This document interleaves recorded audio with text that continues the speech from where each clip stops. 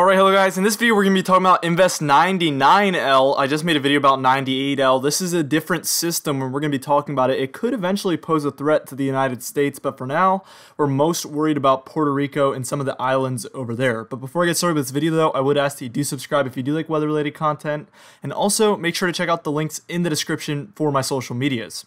Now we're going to get right into things. We're looking at our high-resolution visible satellite here and you can see a lot of these detailed thunderclouds here. And actually, when I put this into motion, I'm not going to do it in this video because I only do slideshows basically. I don't usually show video footage as it would take a lot longer to make my videos and I just like to get really good information out as quick as possible for you guys. So that is the sacrifice that I make.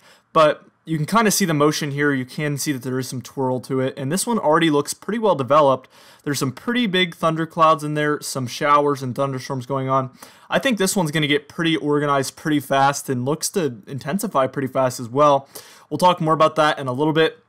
I just wanted to show the satellite imagery because you can see the spin there and you can see that this one is actually well on its way to becoming a tropical depression.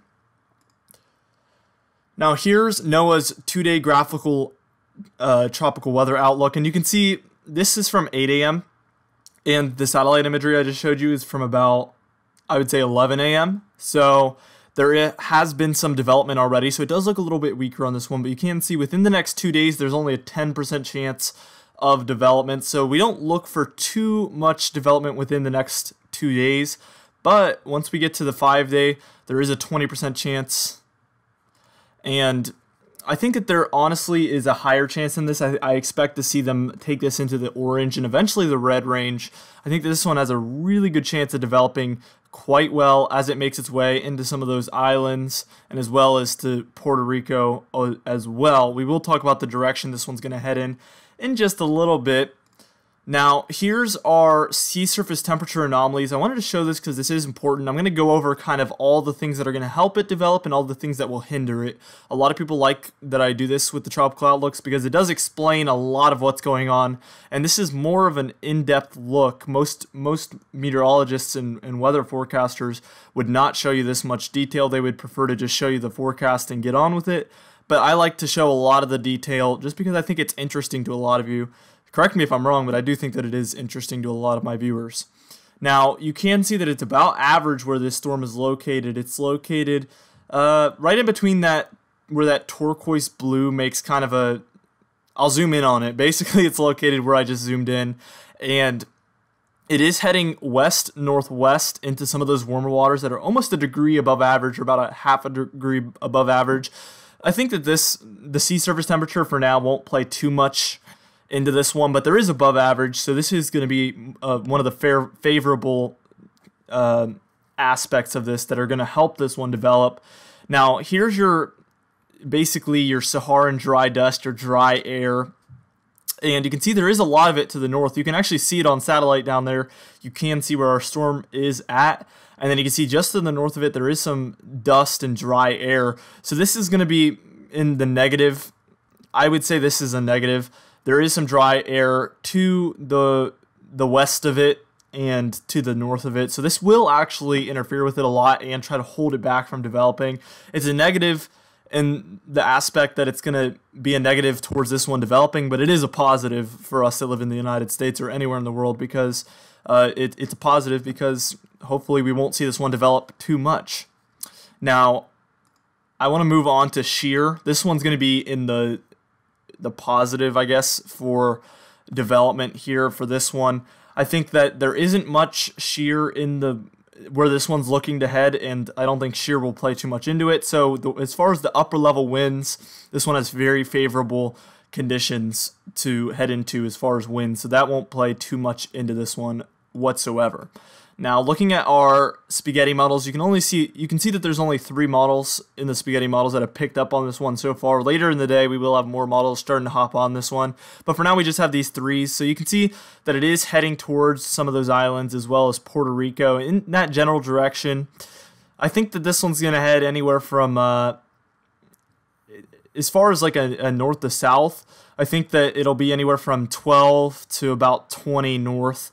I think that's where it's going to end up going. I will have my official forecast at the end as far as the track and the cone of uncertainty, so pay attention for that because I will be showing that at the end. Stay tuned for that.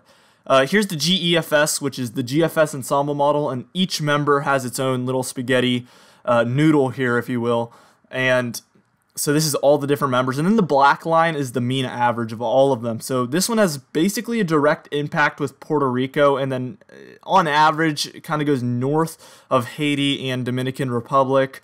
Now, this would be good for it to just like with 98L, how it was going to be good news if it hit Florida, this one's it's going to be good news if this one hits Puerto Rico and the Dominican Republic because of the fact that those tall mountains are really going to break this up if it can hit those regions. Uh, but if it doesn't hit those regions, it's the sky's the limit as far as development. It still can develop even if it hits those islands, but the chance is really lessened if it does make impact with land very, very early on. That's why that's usually good news. Now, here's your intensity guidance, and this is why I kind of disagree with NOAA as far as how slow they have this one developing. We only have one, two, three, four, five, five models here on the model intensity guidance, but you can see within 24 hours they all have it basically hitting tropical storm status, and with the way it's developed so far, I would not doubt that at all. Keep in mind, all the updates from NOAA came from about 8 a.m., so we do actually, this is a little bit more updated, so maybe NOAA just didn't underestimated it, and maybe they'll update their forecast soon and kind of agree more with the models. But nevertheless, the models do have this one becoming a tropical storm within 24 hours, and four out of the five have it becoming a Category 2 hurricane, and then one has it becoming a Category 3. So, really, the sky is the limit with this one, and this could be our first major hurricane in the Atlantic for the 2019 season, which is interesting. And just like all the other tropical disturbances we've had this summer and fall. I'm going to be doing, you know, updates on this one almost daily, if not daily, maybe even twice a day sometimes, depending on what, if we see some changes in what we're seeing. But nevertheless, they have this one intensifying quite a bit here, which is very, very interesting. Now we're going to take a look at the GFS model here. This is for now, you can see that, and this is wind speed, and you can also see the pressure of this one. It's at 1010 uh, 1010 millibars.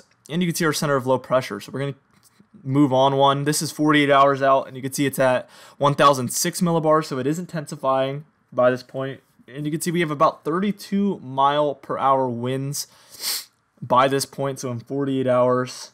So Sunday, early, early Sunday morning, maybe 2 a.m. Sunday.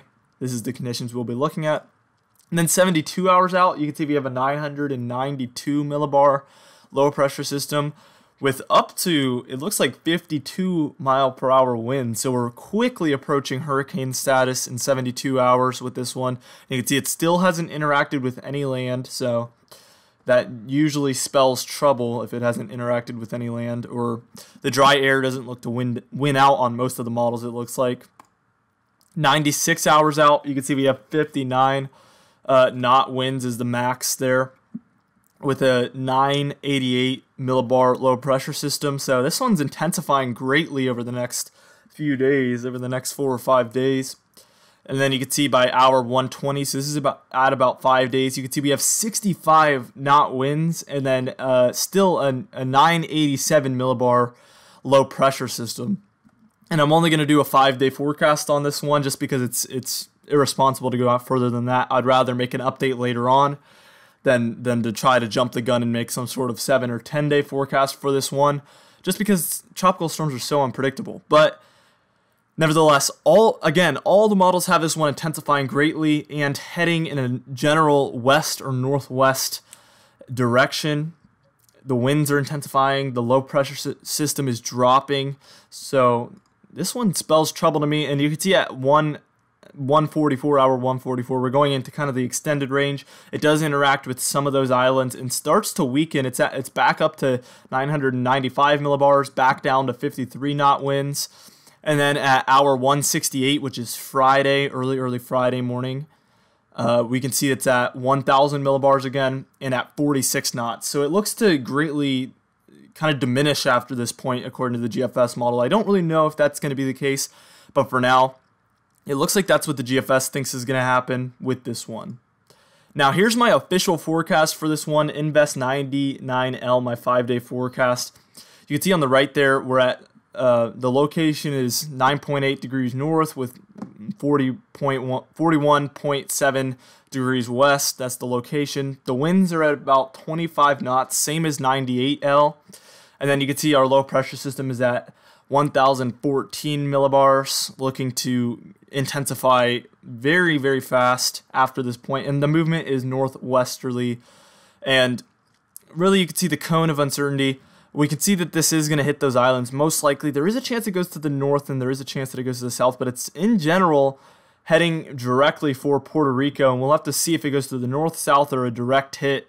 Again, as far as for the future and for most of the people that live in in the United States, Cuba, Bahamas, Mexico. It would be good news if this one interacts with a lot of land early on so that it can't intensify into a major hurricane or anything like that. But if it doesn't interact with land, you know, like I said, the sky's the limit. It does have very favorable conditions, and this one looks to intensify very quickly.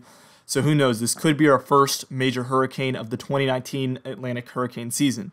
Anyway, guys, I hope you enjoyed this this 99L, this Invest 99L forecast, this first one. I'm going to be bringing a lot of updates for this one, like I said before. So stay tuned for that. Make sure to subscribe for those updates as we're going to be tracking the tropics throughout this 2019 tropical season. And heading into the winter, we will be doing winter updates for all the winter storms.